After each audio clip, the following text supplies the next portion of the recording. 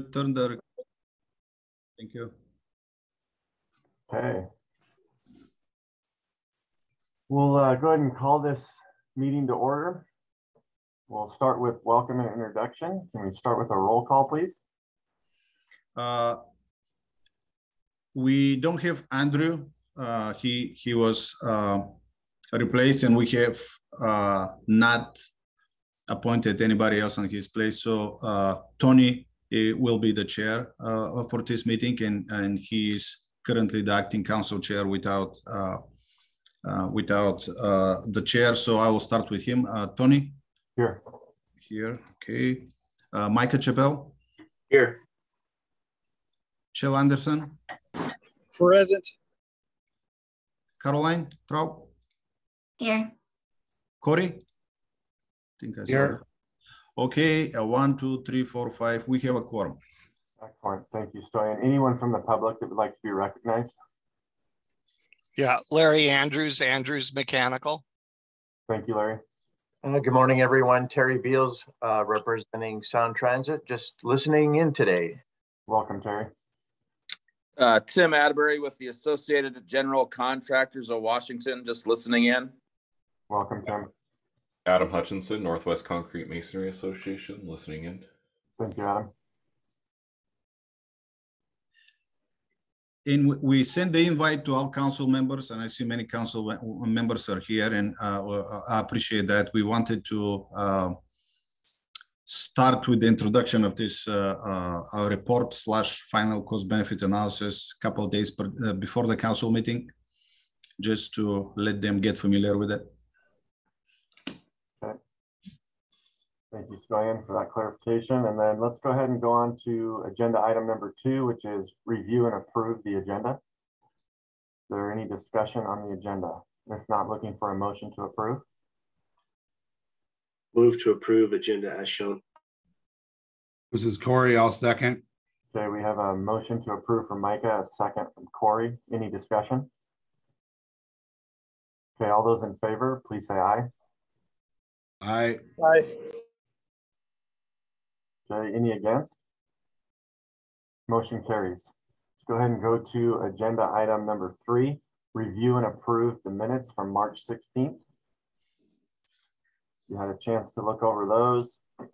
If there's any changes, go ahead and speak up. If not, looking for a motion to approve. this is Corey. I'll make a motion to approve the January 28 minutes. Do you have a motion? I'll second. Okay, thank you, Micah. We have a motion and a second. Uh, any discussion? All those in favor, please say aye. I, Aye. Any against? Okay, motion carries. Uh, that brings us to item number four, cost benefit analysis, WSEC commercial from Ecotope. Uh, so we'll have a discussion and public comment on this. We also need committee action on this today. And so, um, do you want to lead off on this? Yes, so uh, why we are here? Uh, Staff developed the preliminary cost benefit analysis, which is a requirement under the Administrative Procedure Act. We used the data provided by the proponents. Uh, We have a contract with a third party, in this case, it's uh, uh, Ecotope.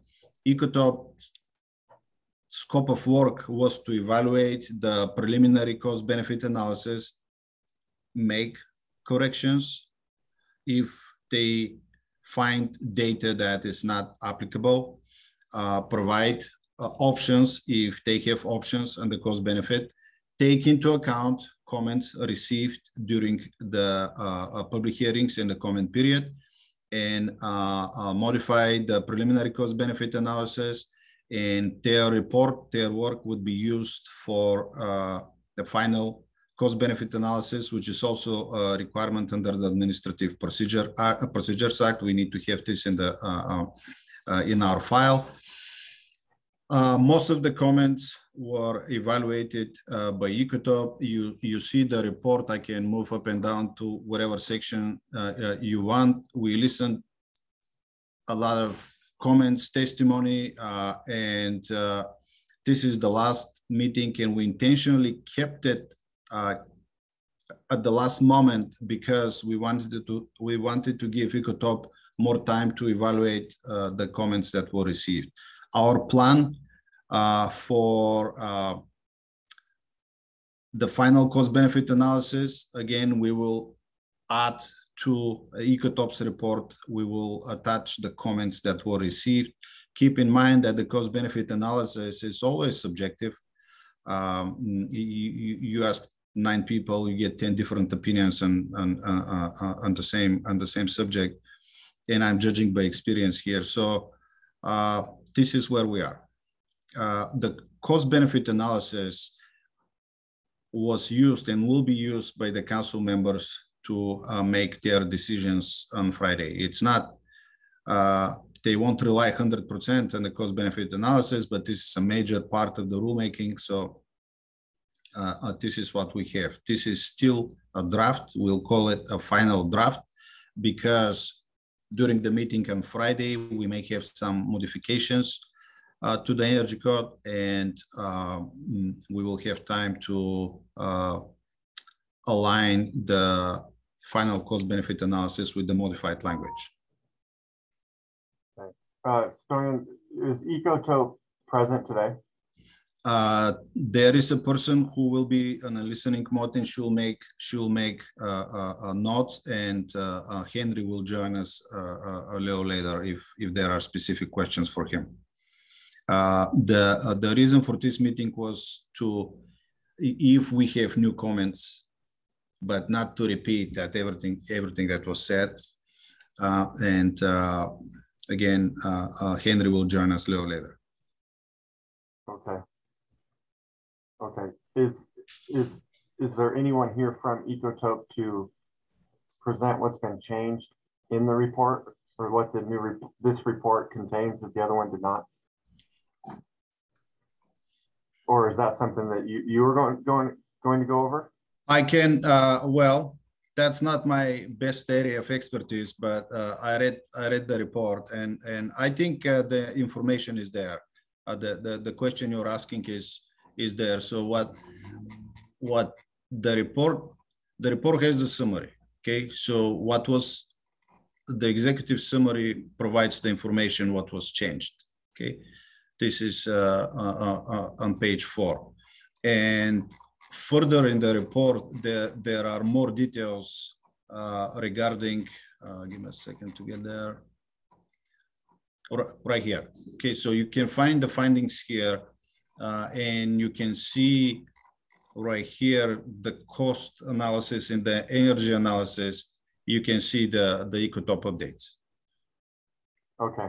So uh, he, Henry uh, didn't join at the beginning because he has uh, conflicts uh, uh, with the schedule and, and his and my understanding, so I'll put myself here to take the blame, was that uh, these questions were already addressed.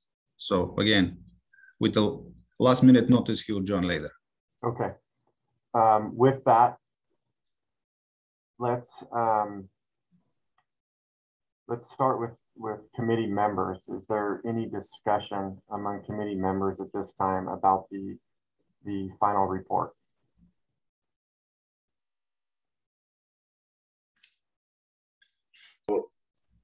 I guess I'll ask some questions. I unfortunately, unfortunately, the minutes don't show our questions previous. And I know we all had several, and I and sadly I've had too many meetings between this last meeting and for this report, and now um, I, I really would like somebody from Ecotope to go over what was modified and how those questions were addressed. Uh, I mean, you're asking for a vote on this, a vote of approval, and, and move it forward to the full SBCC. But I don't know if the questions we had, which were significant, I believe, and I don't know how things were modified unless they highlighted that in the report, and I don't see that. Um, and then, of course, like I said, I I know we had questions, but they're not reflected in in the minutes, um, and so I don't know if they've been answered in this report because I I'm sorry I don't remember what all the questions were.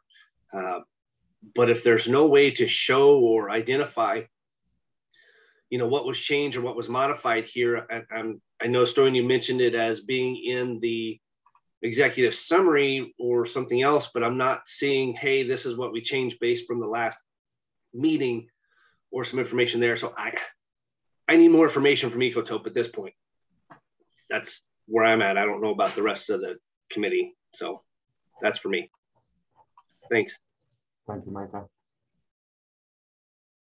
Um, is there? I'd, I'd like to open it up further for committee members and then go to public comment.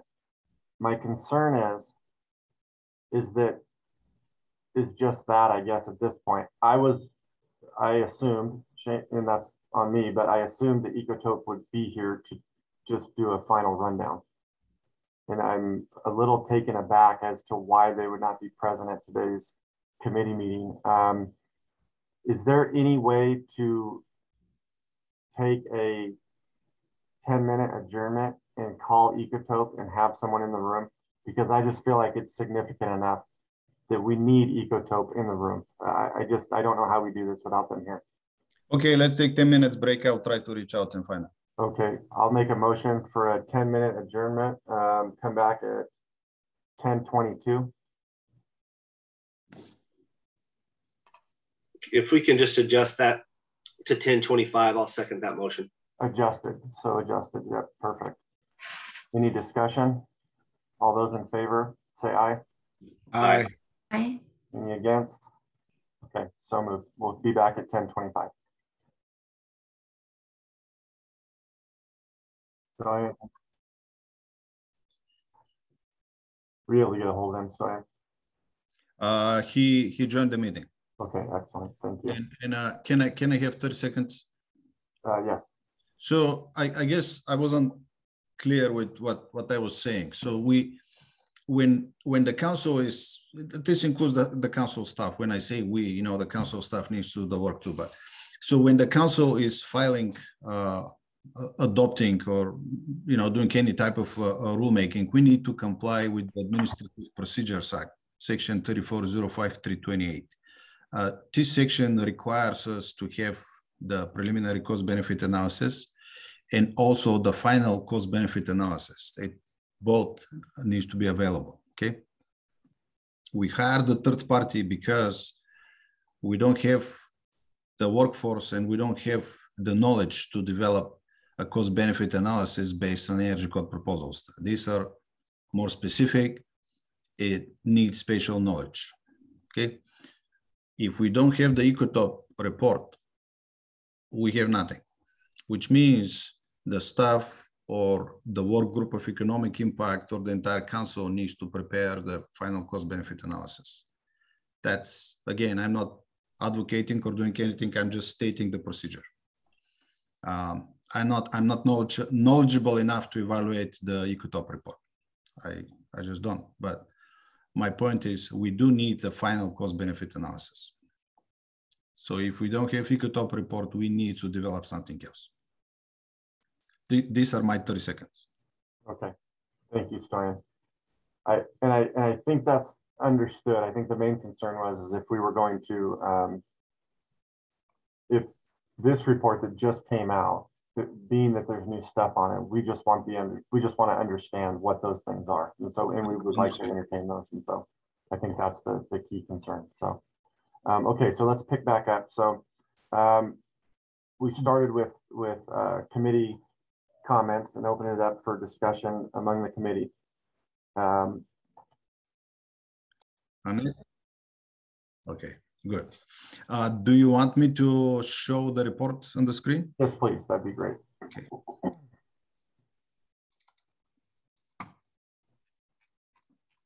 Again, just let me know which section and I will move up and down. Um, is Ecotope able to speak to, um, if we start with them and kind of speak to some of the, the, the items that they addressed in this final report, uh, based on discussion from our previous meetings, then I think that gives us a good starting point. Um, Micah, would that kind of start to All right, I'm seeing yes, so Sure. Uh, hi, yeah, this is Henry with Ecotope. Uh, sorry to hold everybody up there. My fault. I was uh, double booked. So, no, that's okay. I'll Thank you for joining us, Henry. Appreciate it, especially on short notice. Yeah. um, yeah, so I can give you a pretty high level rundown of some of the major changes. Um, I think the gen- general the intent for our third party analysis is to add kind of more more information, data analysis to kind of the overall package that's in front of you today and also in front of SBCC. So um, it was it is not in our intention to have captured all the comment uh, the public's concerns.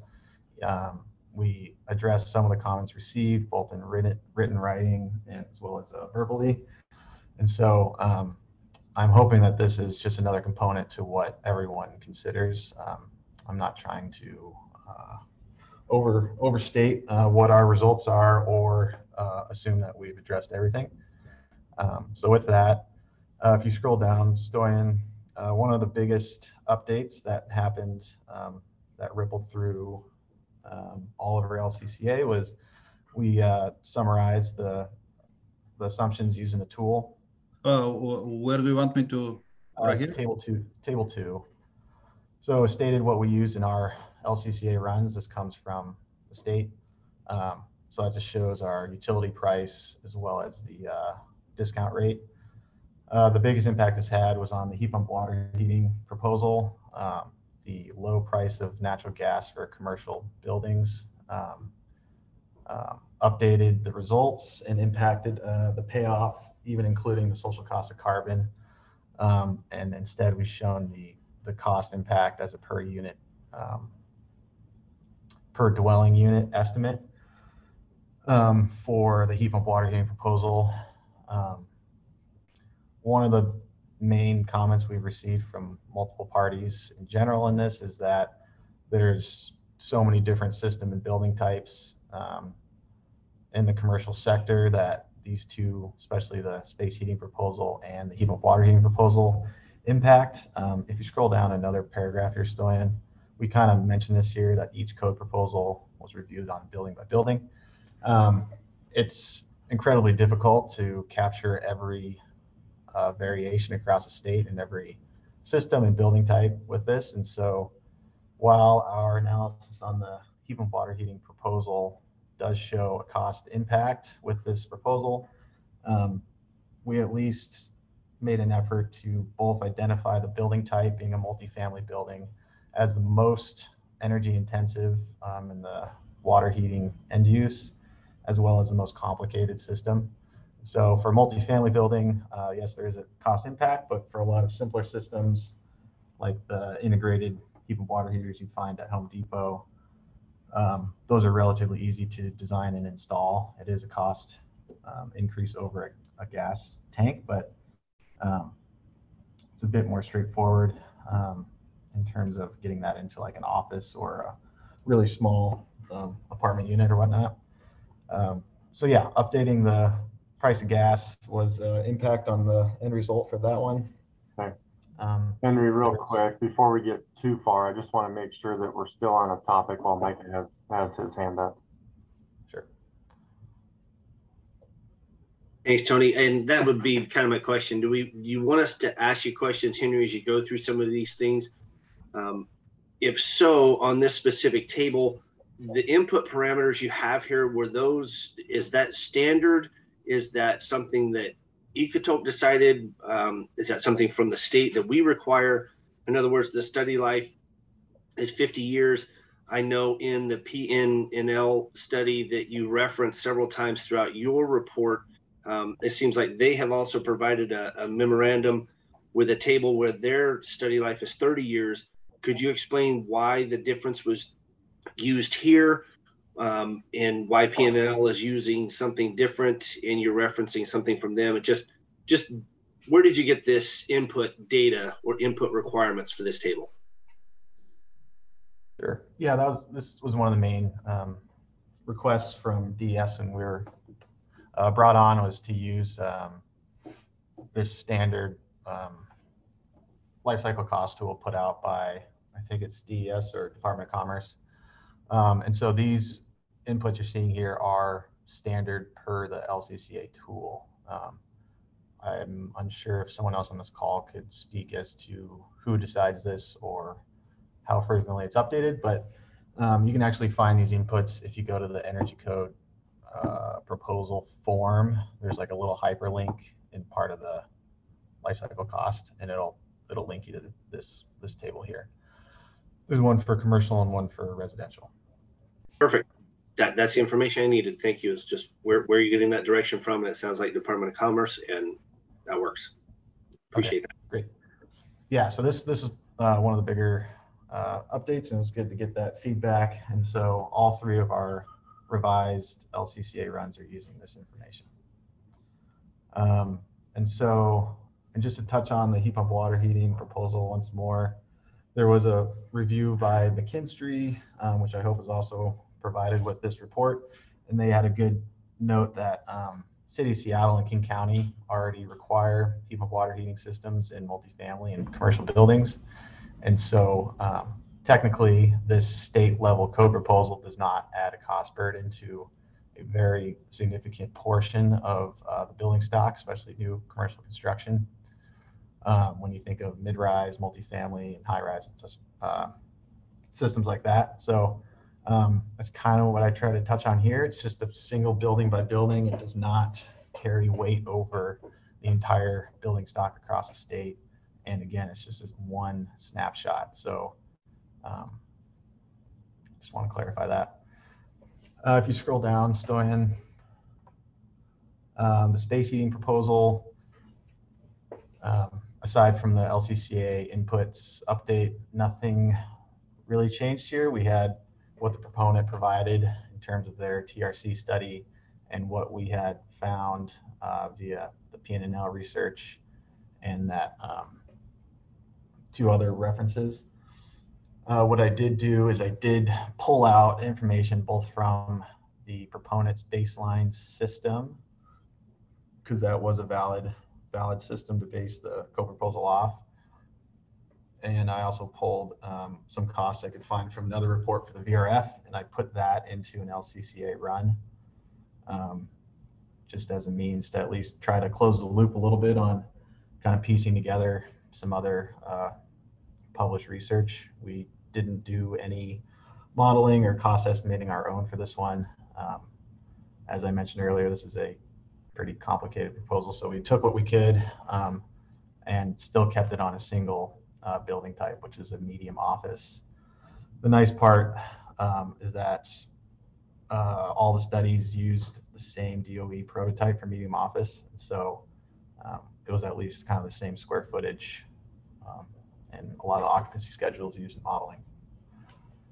Um, and came to same result that uh, we had before, but I just put together a analysis using the state's LCCA tool. Mike, if you have something further.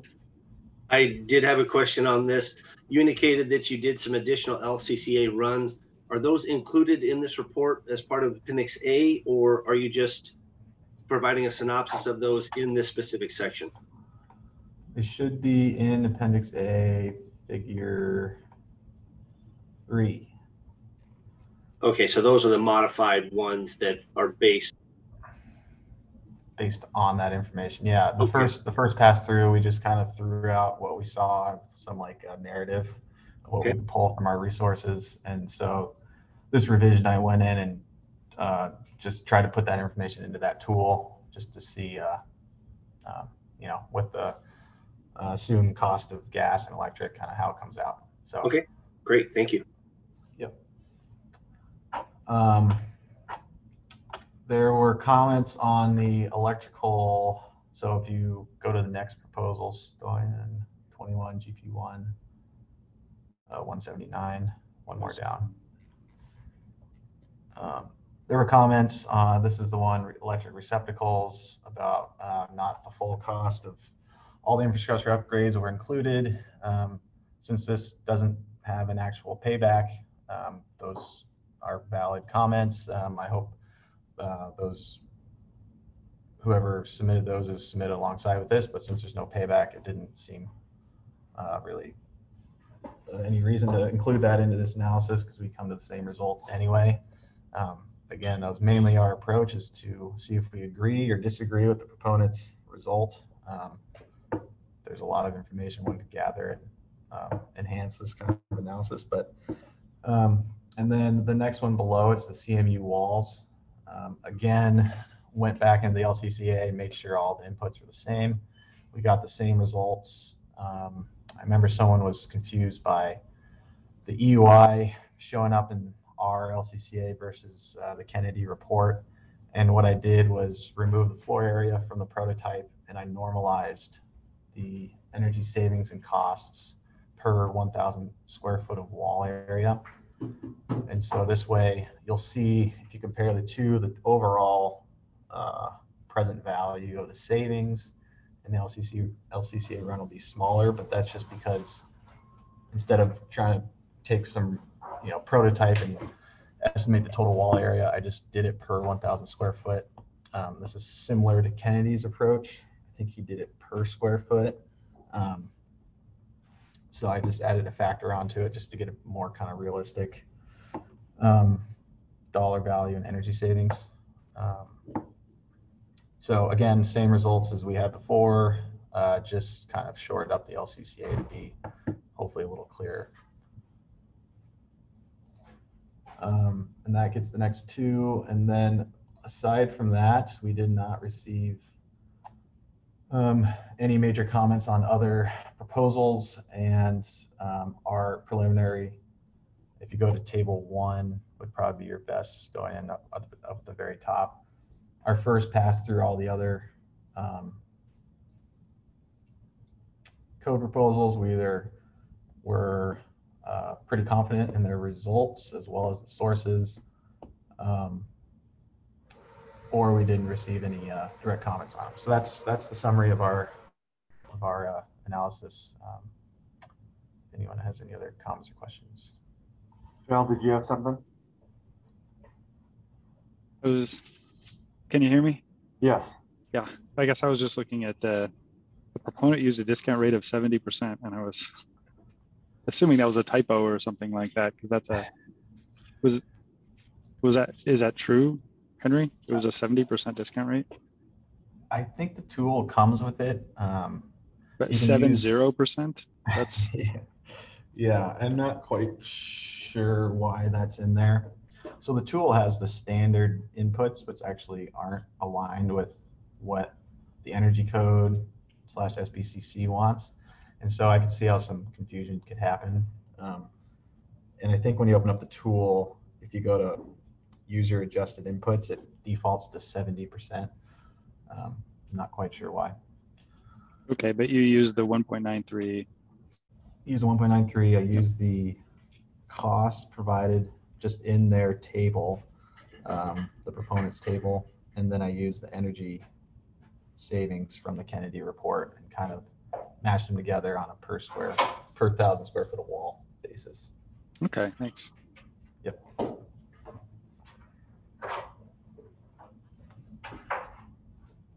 Okay. Are there any other comments from uh, committee members this time? Go ahead, Micah.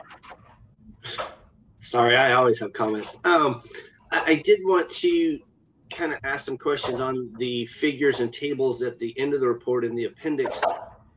Um, and can you explain? It, it seems like you've gone through, of course, and, and have done different LCCAs and then provided different information. And those seem to have adjusted where some scenarios were better than others, and they are different from the original report. And then unless I'm getting the ones incorrect, it seems like there was a figure four. Make sure I'm in the right reports. Make sure I don't have them backwards. Um, figure four is in one report, but it's not in the other as well. So I can you explain a little bit on the LCCAs and the difference in outcome on what was the best scenario and how those changed, and then maybe explain where figure four is or what figure four is it fits in the new report. Sure, yeah. Um, let's in, sorry, do you want us to just scroll up and just go to figure one and we can step down? Um, it's only, let me make sure I have the right appendices labeled here. It's only appendix A that changed, so, um, Right. catch, Micah, appendix B and C are the same. So in appendix A, figure one, so this is the, um, heat pump water heating proposal. Um, so if we scroll down, as I mentioned before, we've updated the utility costs and the kind of real discount rate. Um, and so this is saying alt one, which is the gas uh, water heating system. Um, obviously, the as before, the pure cost, um, it is a cheaper system.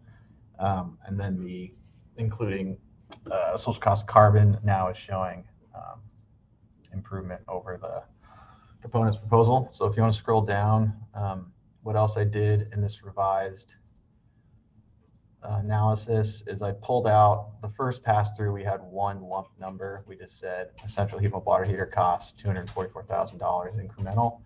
Um, but I took the information already provided in Appendix C and just detailed out that we have three storage tanks, you know, two water heaters, and I gave a more uh, real replacement useful life for each component. Um, so it's same same information, just kind of a little bit more detailed. Um, if you go down to the Alt one, So can I, gas. can we go back before you go too far? J- Just because, and I'm, and I'm sorry, I'm not an expert at this, Henry, but we Yeah. have to vote on this in, in our best understanding. Could you scroll back up to figure one, Stoyan, on, on the first part of the appendix there? When I'm looking at the new information compared to the previous report, you're showing the nominal discount rate here of 5%. On the previous report, it was 3.14%. And then baseline for the social life cost was best in the previous scenario. So you scroll up just a little more. Now it's alternate one, and those numbers are significantly different from what the original report showed. Can you explain to me why that would be? Um, and when I say significantly, on the total LCC with SCC line um, on the social life cost here, you're showing about 980k or 980,000. On the previous report, that was almost 1.6 million. That's a huge shift in how did that adjust so significantly? Just and why did that scenario, you know, alternate one now become the best scenario? Can you explain those to us a little bit? And, and like I said, I'm not an expert, so explaining these reports and and maybe that'll help others as well, so we can make a you know a, a you know a, a vote that means something. So yeah, definitely. Uh, the biggest change was the um, utility cost of natural gas uh, being 80 cents per therm. Originally, it was closer to a dollar, which is the residential rate. And so this is when you're seeing the present value of utility costs as well as the social life cycle, um, because the cost of natural gas was uh, significantly lower than the first pass. Um, it shows a better value for a gas system when you carry that out for 50 years. So that's just straight up utility cost, and then the discount rate, right? You know, the cost of something 50 years from now is uh, less now than it is in 50 years. Um, the total life cycle cost and probably the present value of capital costs, what you're seeing there, that fourth line in the LCCA. Um, what that's doing, um, it basically takes your replacement cost for your equipment. And so this is what I was just mentioning kind of briefly. The first pass, and Stoyan, if you want to scroll down to that input, um, hopefully we can do it without having both reports up. But what this is doing here is you have each component. So when it says number of units, if there's a, a number there, it basically says we have two two water heaters, three tanks, one backup, an electrical system. That useful life, since this is a 50-year analysis, it says if you have two heat water heaters, its useful life is 15 years. You're gonna have to replace that three times within this study. And so it actually takes account for equipment that fails, which is very valid, or not fails, but end of life. Um, and so the first pass through this, basically what I had in there was one central heat pump water heater that has a 15 year life that costs $244,000. And so it said every 15 years, you need to spend another $244,000 in the study. And then it combines all that down into a net present value. What this does is I now I said, okay, we only have, you know, two water heaters that cost, you know, 70,000 that have to replace three times. The storage tanks is a, you know, $64,000 that only has to be replaced twice. And so when you have fewer replacement costs and regularity, when you combine all that back into a net present value of the system, it'll lower it between the two. Um, does that make sense to you? Yeah. Absolutely does. Yes, thank you. That's Okay. that's the type of information I was hoping to get from you, Henry. So I appreciate it. Um, Yep. Just another final question on uh, the previous table on Figure One. So if you just scroll back up, Stoyan, could so what is what is your inputs for the baseline and, and alternate one and alternate two? If- Which can you explain? The baseline is what system? A gas system? Is alternate one a gas system? What are those Uh, the baseline uh, baseline is going to be the heat pump water heater. And i'll sorry to make you scroll down again but just so uh, you can all see it here. So baseline alternate one you'll see right here it says baseline input page at the top left. And then you'll see that anything that is a cost or an energy component you'll see the line items there um, heat pump water heater storage tank. So you, you can first you can relate back to the executive summary by the title here baseline input page. And if you scroll down again, you'll see an alternate one. And so this is how you can review uh, the next two as well. Um, if you scroll down, we'll just walk through it then. If you want to scroll down to the CMU walls, you'll see alt one is showing best. And if you keep going, baseline input, you'll see it's the vermiculite 50%, which is the current code requirement. And a number of units is 1,000 square foot of wall. And it's a 51 year measure, as most envelope measures are. And if you scroll down to Alt 1, it now goes to the continuous R9.5 continuous 1,000 square foot of wall that has a useful life of 25 years, um, which is a a good piece of uh, input from the Kennedy report that these are a little more fragile than a CMU block. Um, same number of units. And so then executive summary will show that alt one is still showing an improvement. And then if you want to go down one more, this should be the space heating. Um, says baseline and is showing improvements. And then You'll see on the baseline input page, it's labeled VRF medium office. Number of units is the square footage of the prototype used in the energy modeling studies referenced. $24 a square foot was the approximate cost. And then if you go down to the alt one, should be the same square footage, um, electric, gas, medium office, and then the energy energy values are up in that top right corner. Um, and those are sourced from, if you want to scroll down one more, um, you can find this in the report that we referenced, but I figured I'd put it here just so um, it's a little bit more out in front. I think it's, if you scroll to the bottom figure, there you go, see Seattle, Washington's right where your cursor is. Um, it's not the most detailed modeling results, but um, you can scroll up to the top now and just kind of keep this in line. You can see uh, total megawatt hours of site energy. Um, and it's about 150 megawatt hours, I think. Keep going. A little farther. There you go, total energy. So about 150, 100. Um, again, you can get in the report and see this a little clearer, but figured I'd show it here in the report as well. Um, and this is same information, but we didn't have it referenced in the draft. So uh, the percentages are the percentages above baseline, or what are the percentages numbers there relate to? Am I So missing this- that somewhere? Uh, the study basically just looked at a modeling study of energy savings between a traditional VAV uh, system in a medium office versus VRF.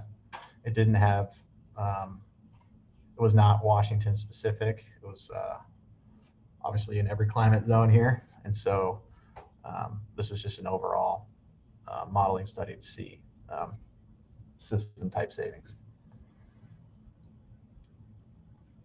Thank you. Yep.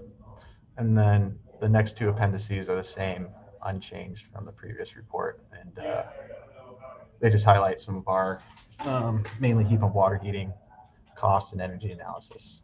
Um, but again, that's same as before. Thank you, Henry. Um, any other questions or comments from committee members? I, I did have one more. No, go ahead, Micah. Sorry, everyone. Uh, I, so if we could go back, sorry to make you scroll, Stoyan. If we can go back to figure one, since that seems to be just the, the starting point for everything. Um, so what your report is indicating is is that for cost, it does seem like the baseline of these proposals is going to be more expensive. And so that's what you're accurately showing here is the best cost is what you're indicating best in, in let's just say column three um, for alternate one. That that's the cost only. That that's not the best system necessarily. That's just the best cost over the life cycle. Is, is that a correct assumption? Yeah, that's correct. Okay. And so over the life cycle, yes, these will increase cost. And you're indicating that the numbers here are how much that increase would be based um, compared compared between the two. Yeah, and I guess I could have made it a little more consistent between each one. Like maybe the baseline could have been 2018, but if yeah, hopefully you can kind of track now how it's looking. Sure. This one, the baseline is the code proposal, the heat pump water Okay. heating, and alt one is the current uh, practice as usual. Okay. Thank you.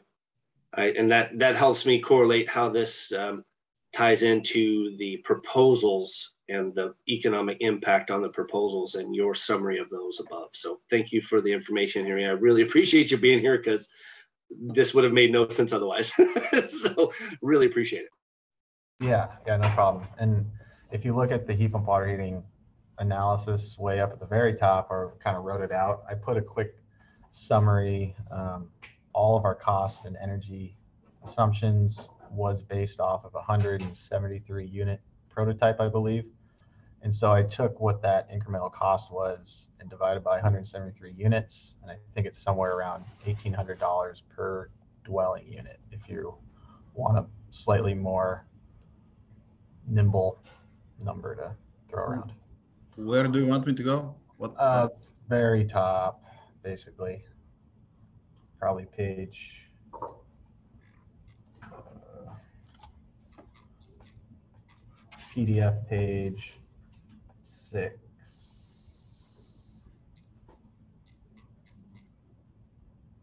Oh, sorry, PDF page five. Oh, uh, I guess that would be for you, it'd be eight. okay. Right, so, That one? oh man. It's in there somewhere, sorry. Um. No, it's, it's in there, sorry. If you go to just the heat pump water heating. It's the bottom of page five. Yeah.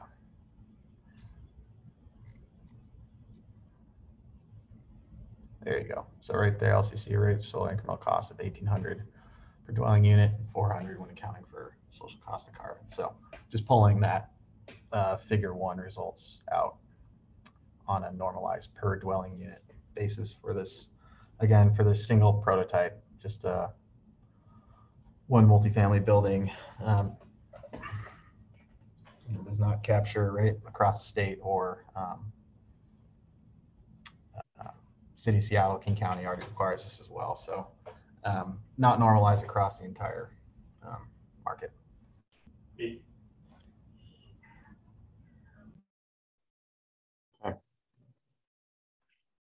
Any other questions or comments from committee members? Go ahead, Caroline. Thanks, Tony. Um, yeah, thanks, Henry. I guess, you know, I think we iterated this last time, but it's a, you know, it's a tough, a tough ask and it's a good review approach to a, a difficult task. So appreciative of that. Um, you know, I think in the last meeting, I'd asked some questions specifically about the heat pump space heating analysis. So appreciate to see that updated LCCA into um, the appendix uses that alternative data source. And I guess lastly, my question for you, right? These types of studies, as you've kind of alluded to, are like largely a function of what the selection of the baseline system is and or which prototypes are chosen and using average costs and utility rates. And I guess, you know, I think as how we consider this report, you know, as one of several data points along with all of the public comment and written testimony that we've received over, you know, the last 12 months or so.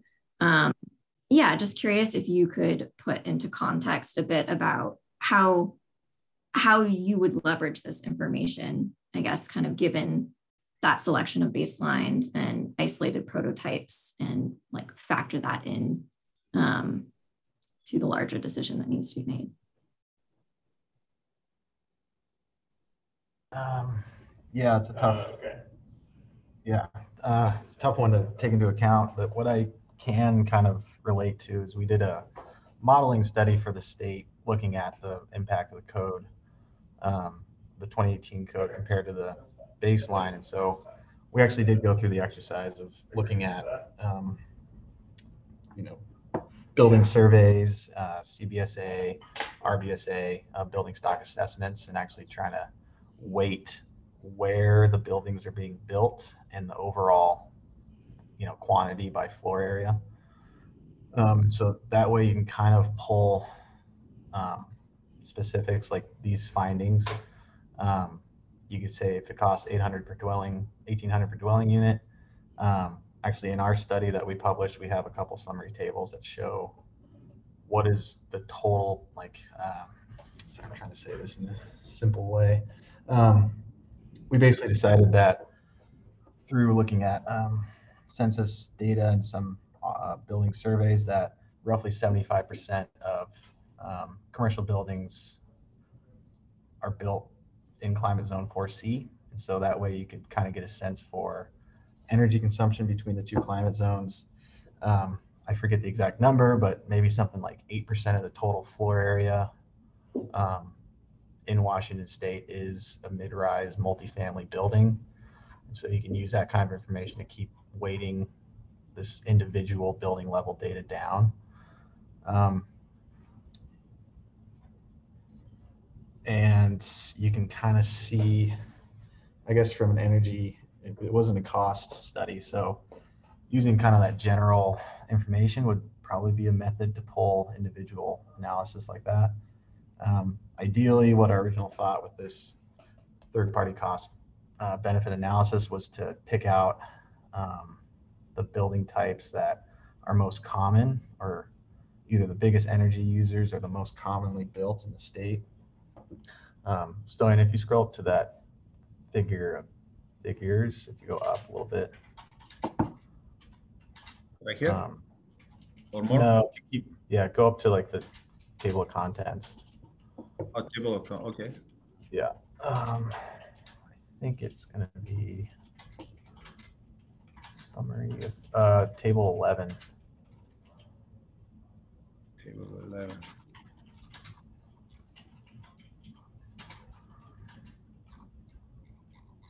Pretty far down. Um, yeah, again, this was just a modeling study for energy, what we're looking at here, but there's some good um, kind of uh, fundamental uh, assumptions and uh, kind of weightings that um, aren't impacted here. So this is kind of what I was getting at. Um, our analysis, like for the space heating proposal, just looked at the medium office. Um, you could assume that similar cost per square foot um, for all offices, maybe not a high rise, but if you take that, you'll see that 20% of the floor area is showing that it's um, a cost benefit for heat pump space heating from our analysis. So while it's only one building type, uh, one HVAC system, you know, we captured, you know, 15, 20% of the impacted uh, building types. That could be a method to extrapolate some of our findings. Uh, the mid-rise apartment, um, as I mentioned, is the biggest end user of um, uh, domestic hot water uh, heating. Um, that's you know six percent, but then you can also see that um, you know hotels, or if you scroll down, there's other apartment styles in there as well. Um, so you can use that to see what building types are most impacted. Um, maybe calibrate across the state. This doesn't really pull out, as I mentioned, the Seattle area, Seattle Energy Code specific requirements. Um,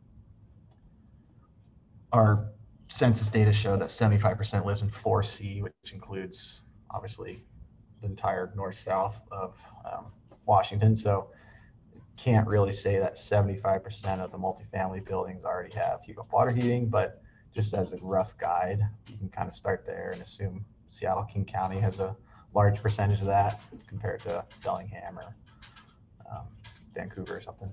So maybe a bit long-winded, but maybe that helps a little bit. Um, yeah, appreciate that. Thank you. Yeah, there's good good data in here that kind of can help paint a picture for the overall um, state, whereas the cost benefit was building by building.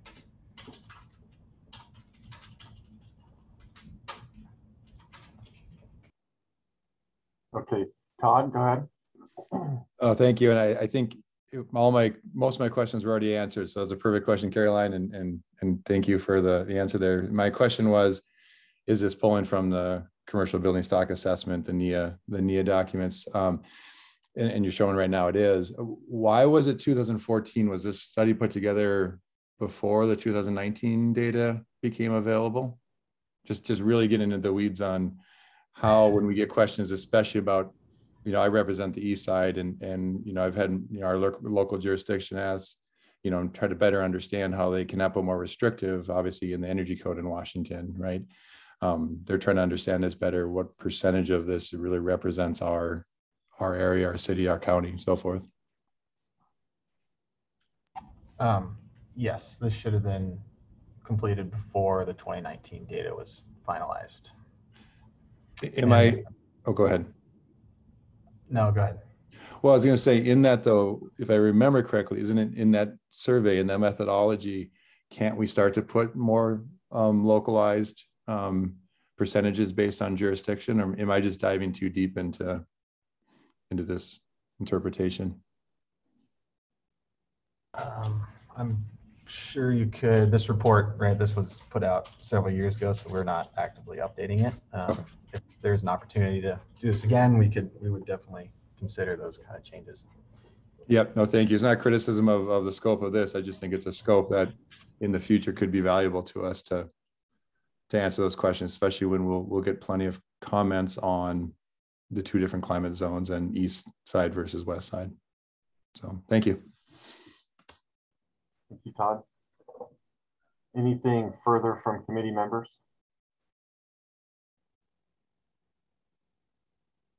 Okay, with that, we'll open it up to public comment. Uh, reminder to those um, representing the public, uh, please keep your, your comments to uh, limited to changes from the previous draft or new information. Larry, go ahead. Larry Andrews. Can you hear me now? You're good. Okay. On page three, could he bring up page three? Okay. Page three, um, the one thing that I see here is, I mean, this whole focus was to validate what was there instead of finding out the truth. But then if you go down below and you look at the, the year that this rate was pulled from 2017 and 2018. I mean, we, we know what the rates are now.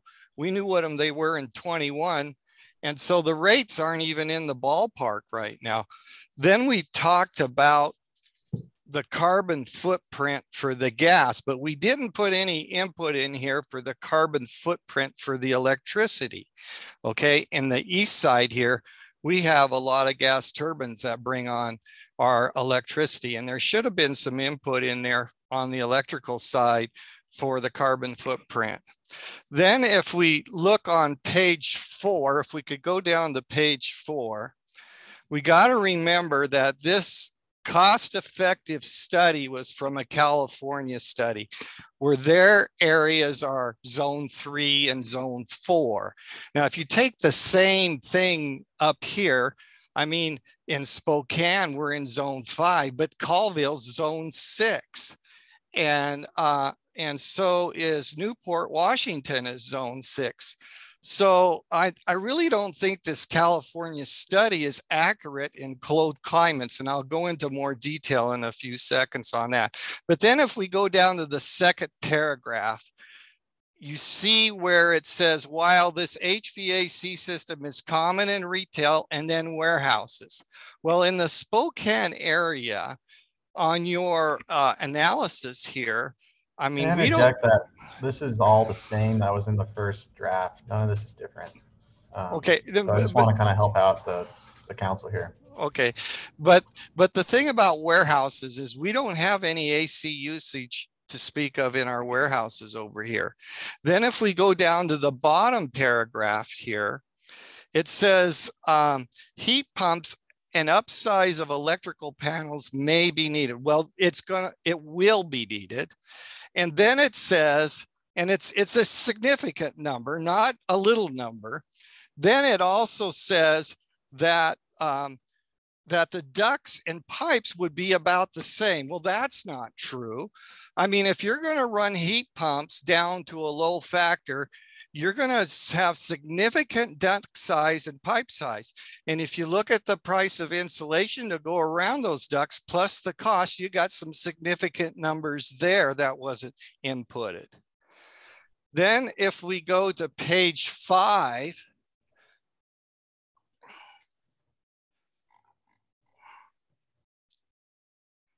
it says here, um, I'm, I'm on the 136 heat pump water heating, okay? And it says as well as the most complicated system. Well, they use an apartment building and that apartment building is not anywhere close to a complicated system.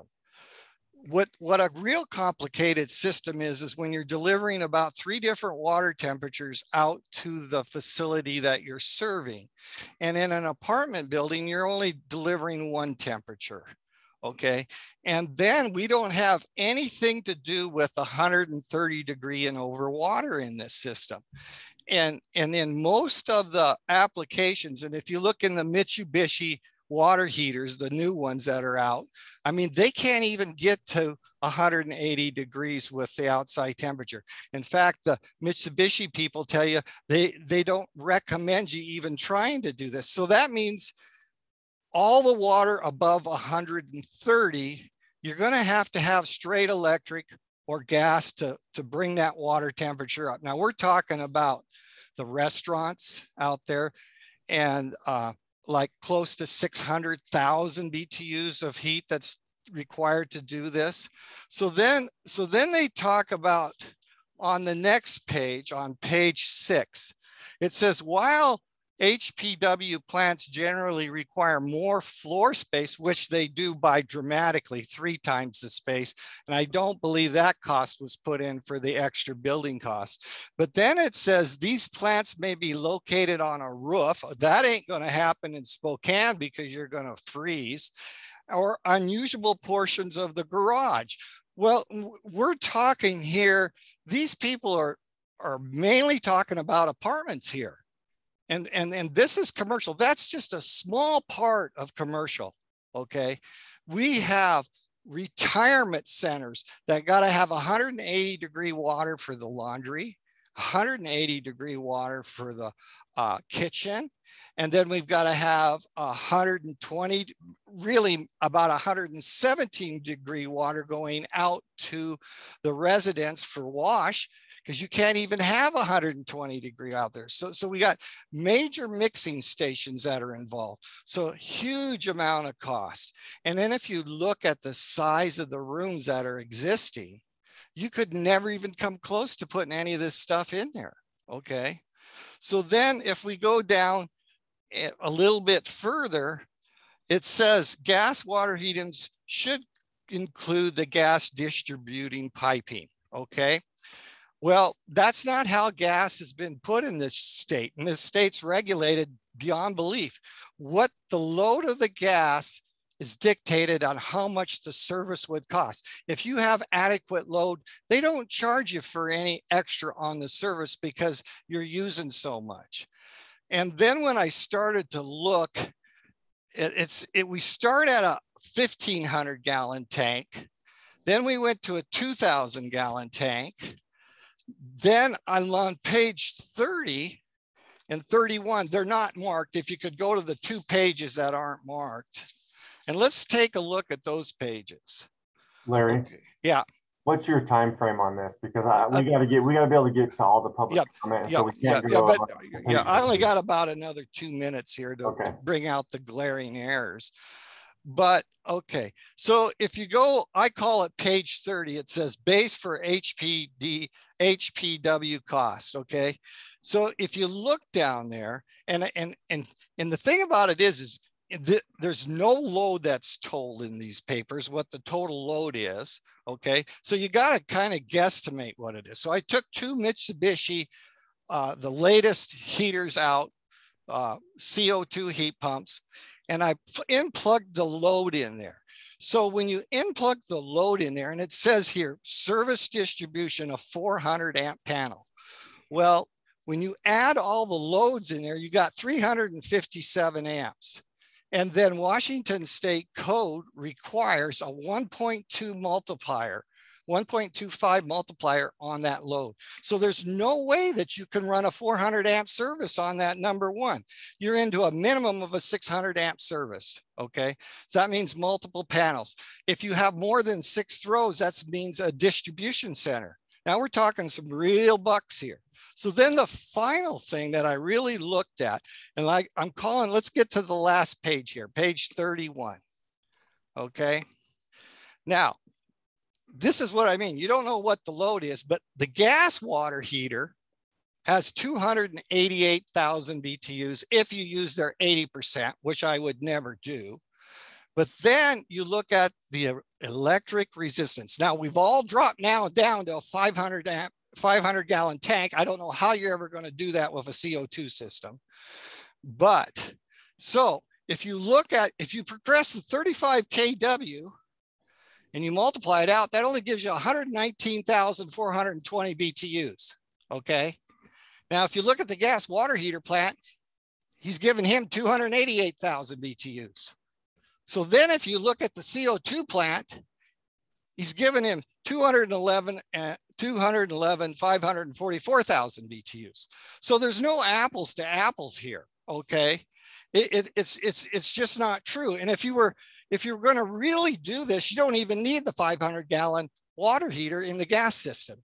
If you go with a PVI 95% gas water heater, you can put a million and a half BTUs in that room that only takes a 36 inch foot footprint and it'll adjust all the way down to 200,000 BTUs from 200,000 to a million five. Okay. And that water heater will be here in 20 years. Okay. It's ASME approved. So when you look at these numbers here, and then if you progress the amount of power that went to these numbers, th their whole thing is out the door because they're, I mean, you got half of the electric, straight electric, and you got more than double the gas input with the same amount of tanks. And then somewhere in between, you got the CO2, which should have the largest tank by far. But now let's really talk about the CO2 input here. Larry, I got to uh, get to other public I. I know, but you need to hear this because the CO2, when the temperature out here is five degrees, only puts out 40% of its input. So you can never do what he wants to do at these at this rate.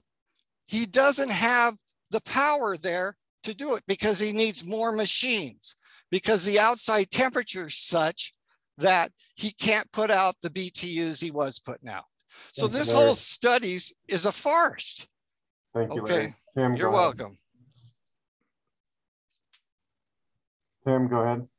Yeah, th- this is uh, Tim Atterbury with the Associated General Contractors of Washington. We represent all the commercial construction firms in the state. Um, you know, Larry Larry did a good job there, and I think people need to really pay attention to what what he just uh, provided. Um, what what I was going to say, as far as the thoroughness of this report, I think that it would have been smart to to have a survey of five to ten developers and maybe five to 10 pre-construction folks that work for commercial construction firms, folks that actually do cost estimating all day, every day, and, and just had, tho- had those folks survey this information to make sure it's legitimate. I, I, I think if you had five to 10 developers and five to 10 construction firms look at this, it would have been way more valuable and it would help you leverage this information that's in front of you. Um, because those eyes need to be on this. Um, they they work in the real world. Um, they they they have to put pen to paper, and, and there's a point for every developer. There's sort of a tipping point for every developer as far as whether or not it makes sense to go forward with a project and and i'm worried that we don't have firm numbers that they can kind of um, rest on and then there was another comment um, made a, a couple times that had me concerned that you know seattle and king county are already doing this and and and and just just common sense tells me that you know developers in seattle and king county have deeper pockets and so absorbing costs like this is not that big of a deal to them. In the suburbs, in the rural areas, um, developers don't have as deep of pockets. I mean, a, a lot of developers doing work in in the city of Seattle, those are international investors. They're they're folks from out of state um, that that that have deeper pockets. So I, I'm just worried that uh, we're glossing over something when we say you know, Seattle King County is already doing this, so no problem for the rest of the state. I don't think that's true. So I, I, I guess I, I kind of want to open that up to committee members as far as whether or not you think it would be valuable for you when you're making a vote on Friday to, to have five to 10 local developers, you know, be surveyed. And then also some pre-construction folks who do daily cost estimating for construction firms, you know, for them to, to be surveyed to, to talk to, to speak to some of the issues that Larry discussed. Thank you, Tim. I'll open it back up to committee after public comment. Uh, Tom Young, go ahead.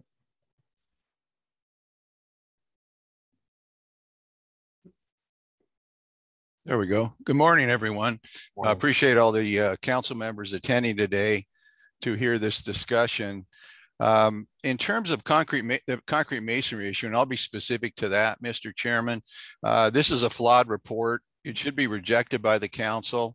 And I'll give you some reasons why. Uh, the problem is you can't take bad data. We have bad cost data and bad energy use data in the Kennedy report and apply it to a new report and expect to get true, accurate information. It just doesn't work. Um, the old report, the Kennedy report, is from 2014. There was a failed attempt made to adjust some of these uh, construction costs. The information uh, is even acknowledged by Ecotope that the Kennedy report is unclear and can't be validated.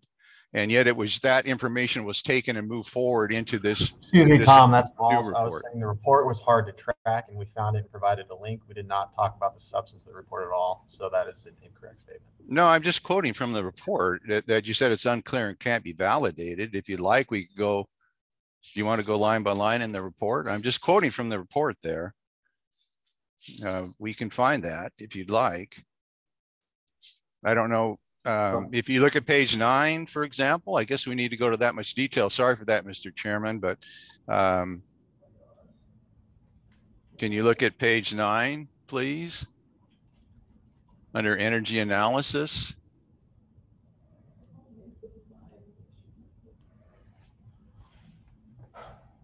And move up uh, a little bit, please. There we go. So we're looking at uh, energy analysis comments. If you look at the first item, therefore savings claimed in this co-proposal cannot be validated. It talks about unclearness uh, in another location. So I'm just quoting the report there. Um, so you've taken this old information, you've tried to move it forward into a new report. Um, as the gentleman from AGC just commented, the the cost information is completely out of line here. It is so low, it is ridiculous.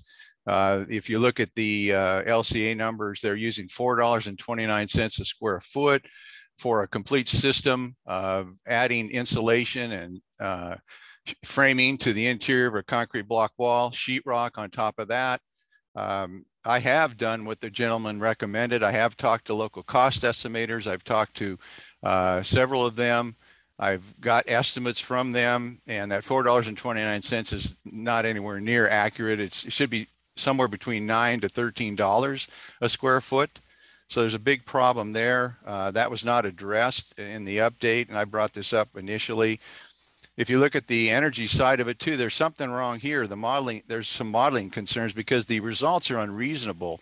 Uh, we've done a lot of modeling over the years. I've seen modeling done on mass wall systems, such as uh, those that are permitted by the current uh, code exception. And of course, it isn't all building types uh, by any means, but these numbers don't make sense. In fact, you could actually do a simple straightforward UA delta T calculation and get better results than we're seeing from this supposed modeling study that was done.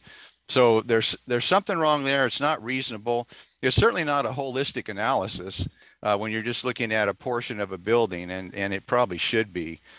Uh, the other thing is that uh, the the Ecotope report states that they reached similar results on proposal 208 as the proponent, and that's not true. The proponent found that in his LCCA that the single wide exposed block wall integral insulated was the best choice from a cost effectiveness standpoint and not not the alternative one. And it doesn't add up either because uh, the ecotope group actually added some additional costs to their study which is the replacement of the drywall which should be looked at at 25 years. And if you do that you should actually get uh, the baseline wall without the drywall should actually show even better than before. So they reach an opposite conclusion by adding more cost to the alternative that uh, they're saying now is the best choice. That doesn't doesn't make sense. Additionally, they use one LCCA for two code proposals, which also doesn't seem to be uh, a logical way to handle this. So what I found, if you use accurate cost data and you actually include another thing that's missing is maintenance, not just replacement. Drywall is going to need maintenance in these high use building applications that are permitted by the code. And so you're going to need to include that. If you include accurate cost, you include maintenance, and even if you accept the uh, questionable energy use data that I've just talked about, you still find that the baseline integral insulated CMU wall is the best choice, is the most cost effective option. And that's the same result as the proponent's LCA a that was done uh, initially. So we do find consistency there, at least in that at that point. So I do like the report correctly states that this is just one component uh, for the council to make their decision.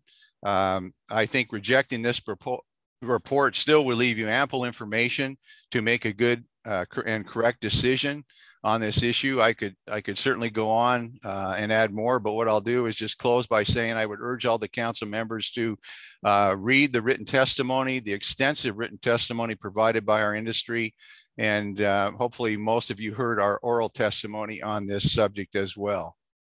Thank you, Tom. Uh, Elizabeth, we're uh, running out of time here, so.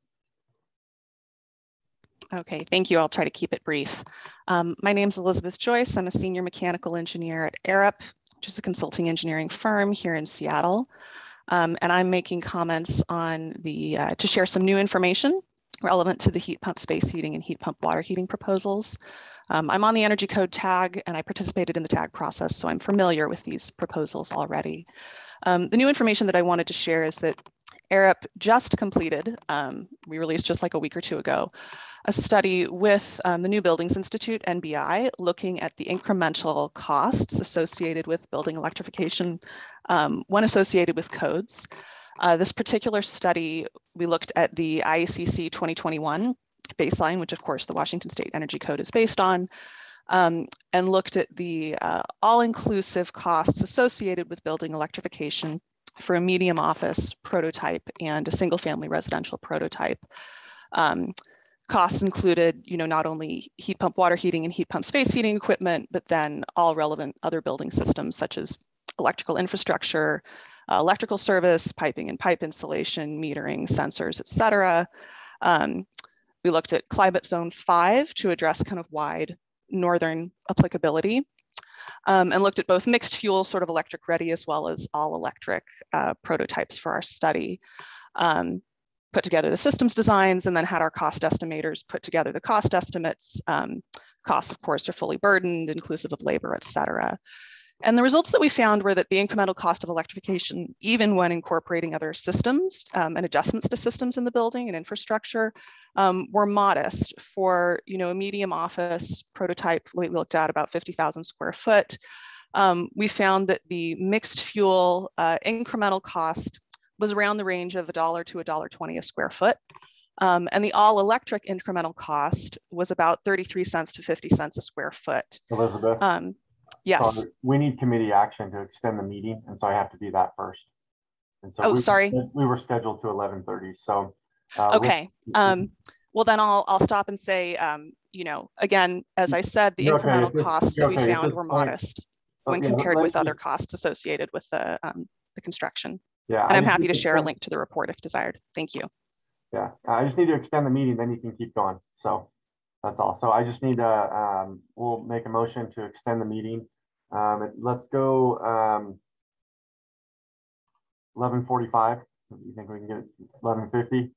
I say noon. Noon? Okay. Noon, so moved. Okay, thank you, Kjell. I'll second that. We have a second. Any discussion? All those in favor, please say aye. Aye. Aye. Aye. Any against? Motion carries. Floor is yours, Elizabeth. All right, thank you. Um, so just to wrap up my comments, um, like I said, I can share a link to the report if desired. It's it's public, it's available online. Um, but again, you know, the the first costs, incremental costs associated with electrification um, for space heating, water heating, um, were modest. You know, on the scale of a few percent of the total MEP system cost. And for new construction, the cost of avoided gas infrastructure for all electric buildings can offset the incremental costs of additional electric infrastructure, you know, service, et cetera. Um, you know, and a final comment to consider is that electric readiness, you know, for mixed fuel building can offset or help to offset future costs for upgrades in buildings that may be retrofit later, since, you know, later on the cost to retrofit can be more expensive since you have to go into an existing building. So doing it at the start um, can be cheaper overall. Um, that's my comments. Thank you very much for your time. Thank you, Elizabeth. Sorry about that. I just needed to get that out of the way, that extension. Uh, let's go with Adam, then we'll jump to Larry. Hello, council members. Uh, Thank you for letting us speak today. I just had one question mainly for Henry. Uh, on the report, do we, uh, does this report utilize uh, hour by hour data uh, when looking at buildings and for their mass walls for the, the CMU wall proposals? Yeah, so we didn't complete any uh, modeling study ourselves. Uh, We did reference uh, the Kennedy report, and from my experience with him, he uses eQuest, which is a 8760 program.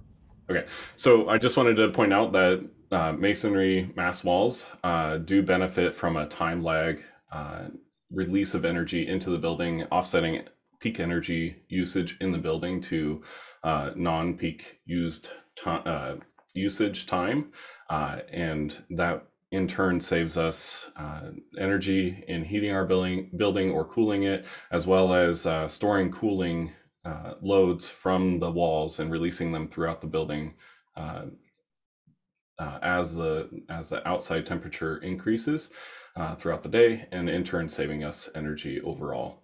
Um, I just wanted to point that out as as one of the main talking points of that are not addressed in this report is that we we do benefit from a, uh, our mass walls and and should get some value out of that in uh, in any cost savings data. Um, as Tom has said in the past, uh, we have had cost studies done that look at a whole building modeling approach uh, and have shown that the, the cost savings due to that time temperature lag uh, has actually saved us uh, significant return on uh, on providing inter, in, integral insulated masonry walls rather than inter, interior insulated walls. Thank you. Thank you, Adam. Johnny, did you have public comment? I saw yeah, your... I just wanted to uh, speak um, in favor of the modified um, cost benefit analysis. Um, I know that Ecotope did a, a, lot of work on this. I know there was a lot of analysis of my initial um, uh, life cycle cost analysis, uh, analysis that was submitted at the beginning of the uh, heat pump proposal process, and um, they uh, did a really great job um, finding um, where the places in which I had made errors and correcting them and providing um, supplemental information to basically indicate that, you know, the heat proposals still do um, stand and um, their energy and cost savings are uh, evident based on analysis that was done. So I would like to um, thank Ecotope for the work that they did and yeah, just want to support it. Thank, Thank you, John. Larry, go ahead. Yeah, I got three minor comments here. Uh, one of the things is, is, and I don't think you've talked about this yet, but the EPA has said in uh, commercial buildings, our CO2 input for Washington state is only 6.23% of the total C CO2 for for Washington State. So we're talking a small fraction here. And then I want to address the mass walls thing. The mass wall in there shows a 51 year, okay? Shadle Park High School was built in 1957. It has high mass walls. It was redone about five years ago, but all the mass walls stayed, okay? And so if you're really looking at mass walls, you should be looking at least a hundred year package here because that wall will be here in a hundred years, just like North Central High School was here. And then the final comment is the other thing that I don't like about the Ecotope report is on is is the maintenance. They put zero amount for maintenance in here for the heat pumps and the gas.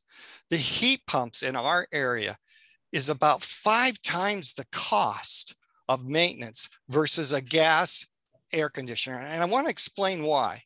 We only run air conditioner in Spokane for about two months out of the year. Okay. So 10 months out of the year, that compressor is sitting there and those controls are sitting there doing nothing. Okay. But that heat pump system is working 24 7 every day of the year. Okay. They are a high maintenance item. If we don't keep those coils clean, we lose the compressors. And if you look at the data that I originally put in, you can see that there is some real significant cost in our area for heat pumps. And the reason why is, is because we have the Palouse. And the Palouse here, they go out there and they drag their plows out there and they stir up all the dust. And all that dust comes in here and deposits into those coils. And if we're not regularly cleaning those coils two to three times a year, our performance factor goes through the roof, down through the bottom. And then also is we lose compressors here a lot. Then, and that's attributed to dirty condensers that are seeing high head pressures with high head, high temperatures.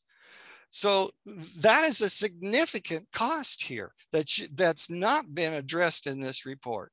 Thank you for taking your time to listen to me. Thank you, Larry. Tim, go ahead.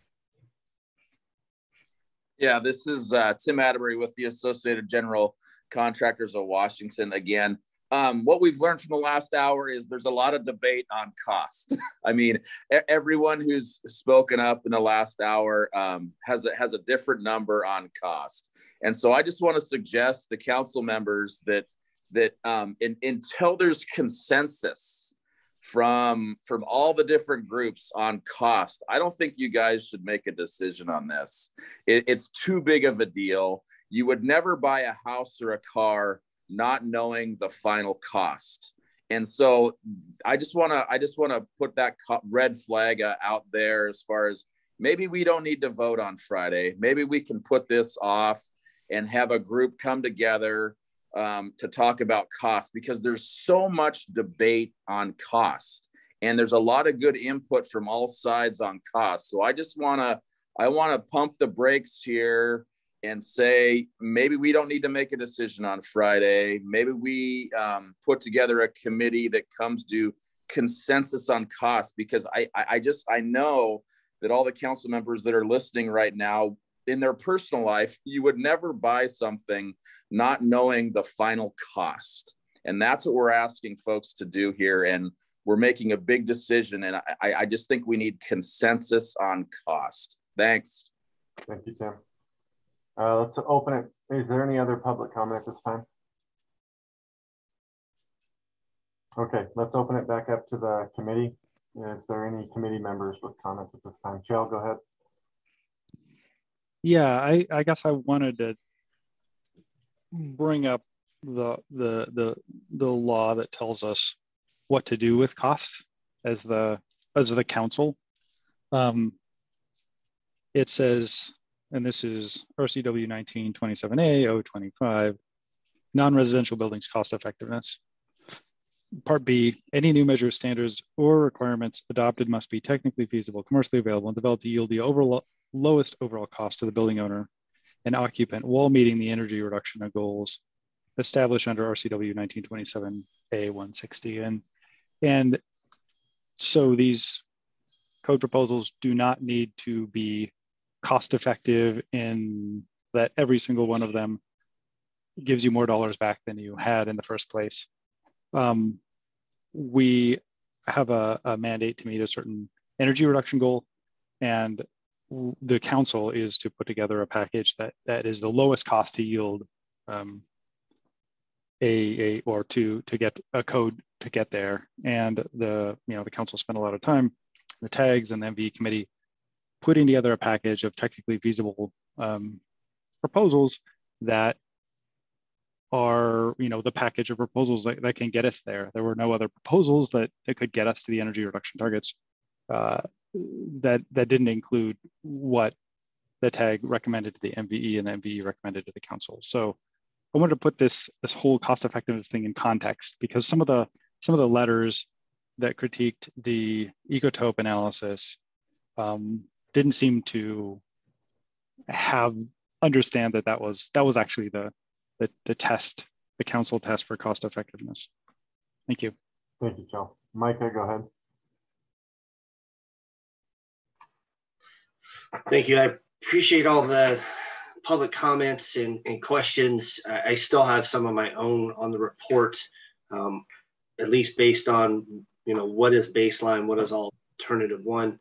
Um, I mean, when we look at the figure one for the heat pump information for water heating, uh, it shows that it's going to be more cost upfront to put these systems in. But as Kjell mentioned, this is the most cost effective path to achieve the goals that are set by legislative mandate. Doesn't mean it's the cheapest way to, to, to the cheapest system to install, but it is the most cost effective path. And that was a great point, Kjell, to make on this.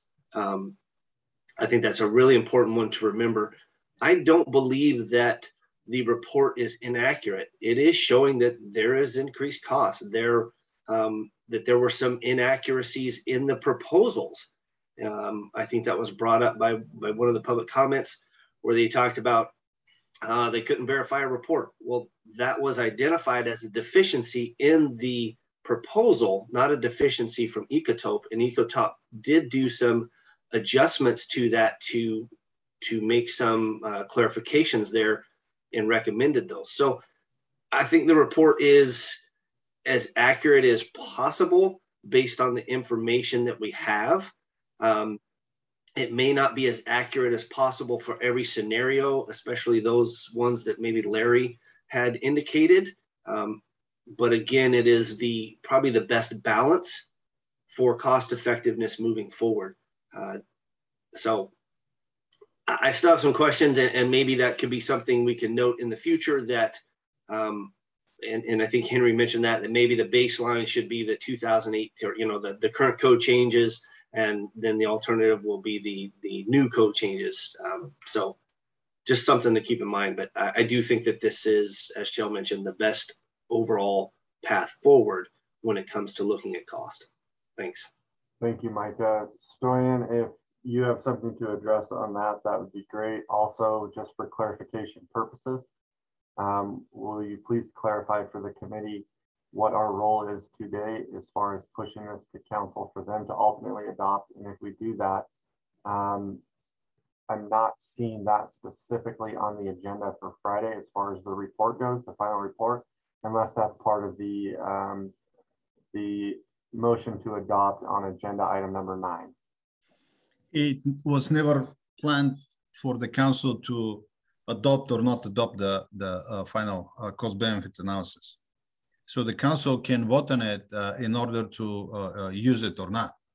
But uh, what I said at the beginning, we started with the preliminary cost benefit analysis. We were asked to hire a third party. We did have the contract with Ecotope uh, and uh, they developed their version of it and we will add our comments and this is all for the council to evaluate when the council members are making their decisions if the council disagree with the report then we need to develop something else understood okay so as uh, far as committee action today is it us pushing it to council to make that decision you can you you have a few options uh, just do nothing because the reason for this group was to uh, coordinate the effort and and uh, have the public input and have the input from the members of this uh, work group of economic impact and uh, help Ecotope make adjustments uh, to the reports.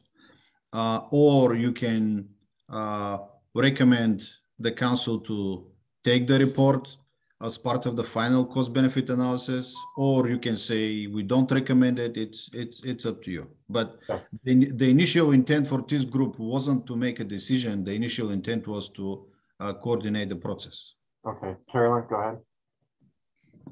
Yeah, I guess just a, a clarification there, Stoyan. Like the report we have at this moment is not the final report because that report can only exist after adoption of an energy that's correct. Yes, this is a okay. draft. Again, I, I wasn't clear. I, thank you. Thank you, Caroline. So this is the report, the final draft for the council that they can use when they are voting on uh, the energy code proposals. Right. So it seems so, like it's one additional piece of information along with a magnitude of other information to be considered in decisions for Friday. But I guess, Tony, leave it up to you if you think a vote on it is necessary at this point.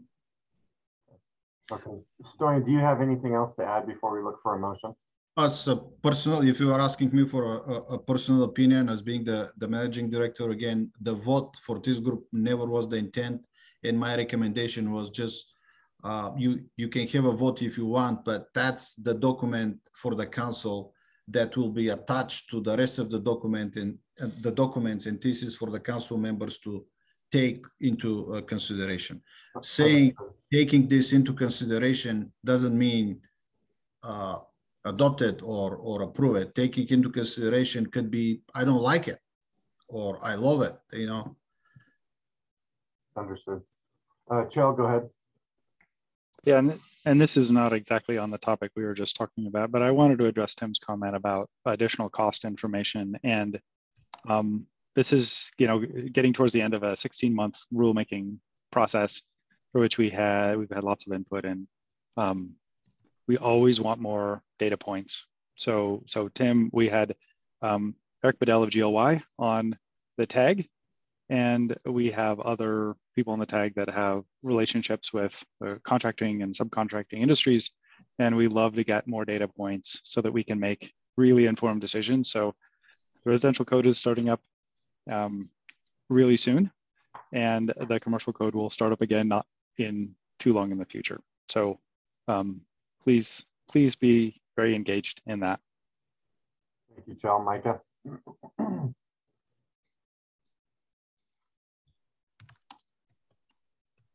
I think you're still on mute.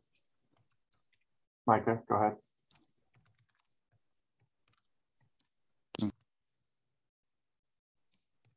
Think we lost Micah.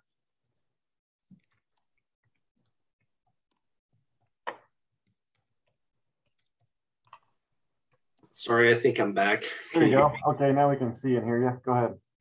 That was uh, it kicked me off all of a sudden. That was really strange.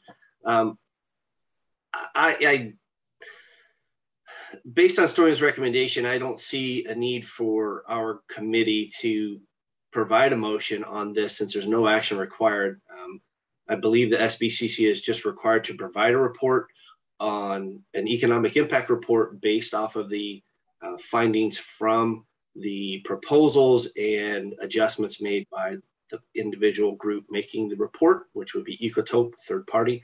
Um, again, I don't, I don't believe that uh, we need to take any action. So I will not be making a motion. Just that was it. Okay. And I did also agree with Kjell uh, on addressing some of Tim's comments. I, I, I meant to talk about the consensus part of it on getting a consensus on cost impact and the cost. I don't think that's possible, in my opinion. I mean, every every group is going to have. I mean, every construction company is going to have different margins. They're going to pay their folks differently. I just I don't know if you can ever come to an agreement on cost or or even maintenance cost, uh, anything like that. So again, I think we're providing a report um, through a third party, and we are meeting the obligations of the RCW and the bylaws for the SBCC and I don't see an action necessary. Thanks. Okay, thank you, Micah. I agree. I don't know that any action is necessary on this item. Um, okay, anything else from committee members? Okay, so Larry, if you can exercise brevity on this, that would be great, but go ahead. Uh, I just want to talk about Kjell's comment about the tag. And I've talked to the people that came from the east side here about the tag and how the tag was ran. And uh, and they they they kept putting up different ideas, but the tag was dominated by the west side. Point of order, Larry. I'm sorry, but this, that's not the time for this comment, and so we can't we can't we're not going to go down that road right now. So, with that, is there any other uh, committee members with um, on item number four as far as It'll come up. uh, comments. If not, we'll move on to item number five, which is other business.